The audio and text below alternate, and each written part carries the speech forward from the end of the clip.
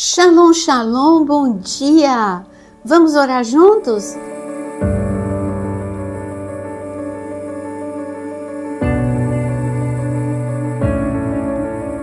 Eu quero te convidar a se inscrever aqui no canal, deixar o seu like e também a compartilhar esta oração com o maior número de pessoas possível para você abençoar a muitos. O tema do nosso devocional hoje é O Diabo está mentindo para você. Mas aí você pode me dizer, ele mentir para mim? Isto não é novidade, porque essa é a essência do diabo. Ele é o pai da mentira, ele veio para matar, roubar, destruir. Essência é faz parte, está entranhado nele. Falar da mentira, mentir, é simplesmente a zona de conforto do diabo. Você não está me dizendo nenhuma novidade. Não, não estou mesmo. Eu estou só, eu quero só te mostrar. Porque algumas vezes nós nos acostumamos com a palavra e não vemos o aviso, o alerta. Sabe quando o mar está revolto, o mar está perigoso e tem aquelas placas de alerta vermelha dizendo perigo, não entre na água. A Bíblia é assim, tem essas placas, perigo, cuidado, ele é mentiroso, não entre nas suas artimanhas, mas às vezes você deixa de lado essas placas e você assume a responsabilidade de mergulhar em lugar perigoso. E eu vou te dar um exemplo. Adão e Eva parecia que não era nada acreditar simplesmente que eles poderiam ser é, como Deus, que eles poderiam entender as coisas melhor pelo contrário, ficaram cegos espiritualmente, mortos espiritualmente. Mas o diabo mentiu e disse: não é bem assim. Sabe quando ele diz não é bem assim? Ele é um evangelho de concessões. Olha, não faz mal você manter uma conversa de intimidade com quem não é o teu cônjuge, porque afinal de contas, só no telefone você não está tendo contato físico, isso não é pecado. Ah, mas a Bíblia fala, Jesus nos avisa que só com os olhos eu já adulterei. Imagina então manter intimidade. E assim, quando você visita um site pornográfico e acha que ninguém está vendo, não há nada oculto que não venha a ser revelado, porque Caim também achou que ninguém veria o que ele fez com o seu irmão Abel, mas o sangue de Abel clamou e assim veio à tona, veio à luz. A verdade sempre vem à luz. E ele pagou duras consequências, assim como Adão e Eva, Caim também pagou é, consequências muito pesadas para sua vida. Ele virou um fugitivo, ele saiu, se afastou da presença e da glória de Deus. Ele enganou Judas, porque Judas, nem sempre Judas foi um traidor. Judas era um discípulo, ele respondeu ao chamado de Jesus, ele amava Jesus, ele ficava horas e horas ouvindo a Jesus porque ele amava, ele deixou tudo porque ele amava.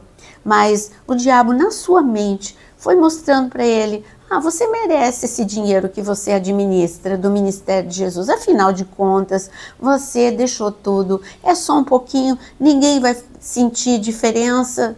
E assim, ele trouxe grande ruína para a sua vida, porque o pecado, como diz a palavra, abismo chama abismo. E você, primeiro você esconde, depois você mente, depois você vai fazer uma coisa mais grave. E assim nós vemos como herdeiros de Deus perderam a sua herança, porque o diabo mentiu para eles.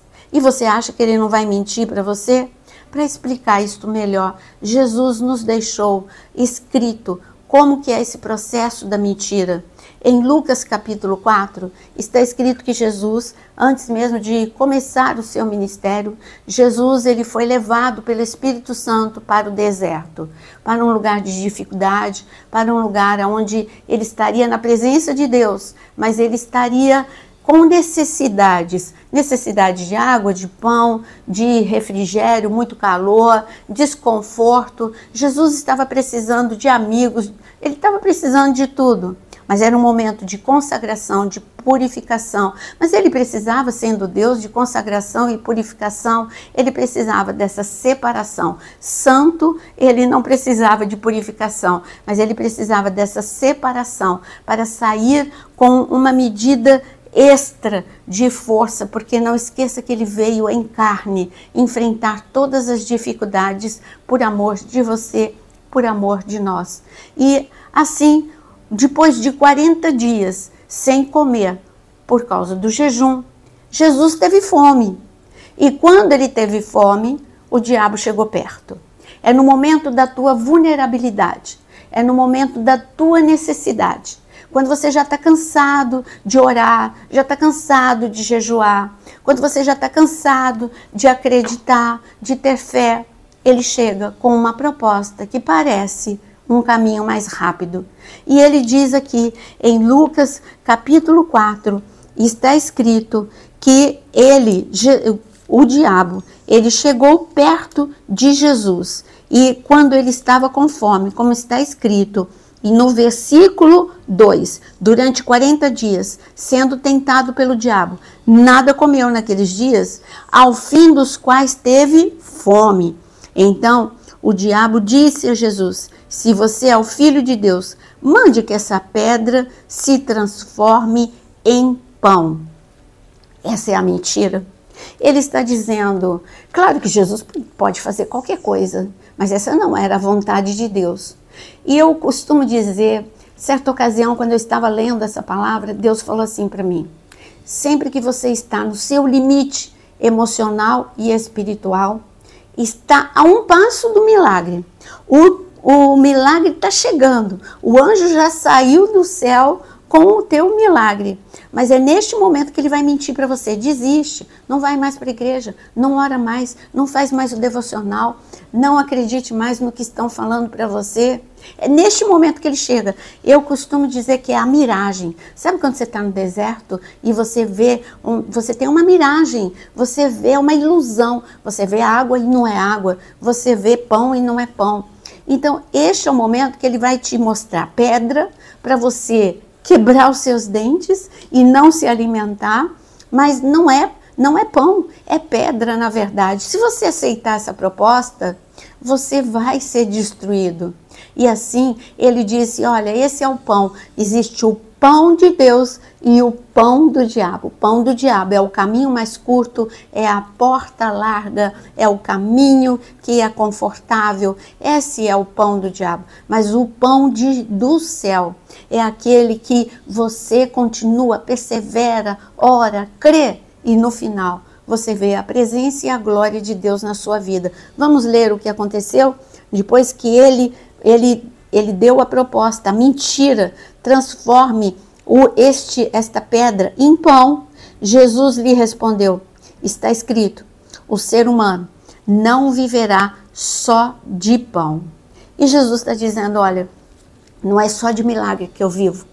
O milagre, ele faz parte da minha vida, vai fazer parte da tua vida, mas você vive, é, a tua força vem de Deus, a tua alegria vem de Deus, a tua paz vem de Deus, a proteção vem de Deus. Então, buscar em primeiro lugar o reino dos céus e todas as outras coisas vos serão acrescentadas. Não acredite na mentira de que Deus não vai te ajudar, não vai te socorrer, de que já passou do tempo o socorro. Jairo poderia ter pensado dessa forma, mas ele viveu, ele teve uma experiência melhor do que muita gente. Ele não viveu só milagre, ele viveu um super milagre.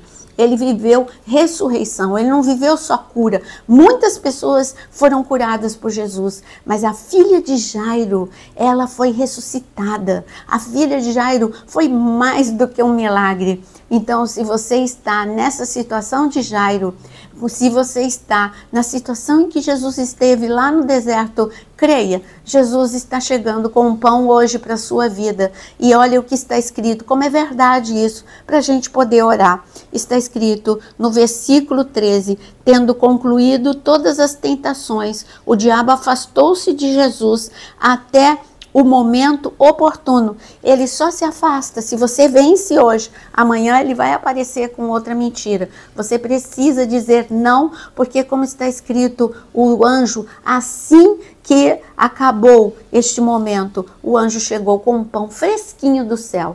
Então, se você disser não à mentira do diabo, o pão do céu chega na sua vida. Escreva aqui nos comentários o seu pedido de oração porque nós vamos orar e você não vai acreditar na mentira, mas vai acreditar na verdade. Qual é a verdade? Eu não te deixo, nunca jamais eu te abandono e eu ouço a tua oração.